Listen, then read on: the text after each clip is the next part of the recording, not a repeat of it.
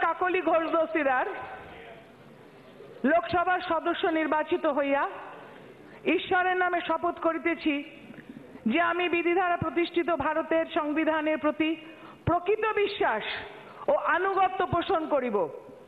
আমি ভারতের সার্বভৌমত্ব ও সংহতি রক্ষা করিয়া চলিব এবং যে কর্তব্যভার আমি গ্রহণ করিতে চলিয়াছি, তাহা আমি বিশ্বস্তভাবে নির্বাহ করিব। জয় হিন্দ! জয় বাংলা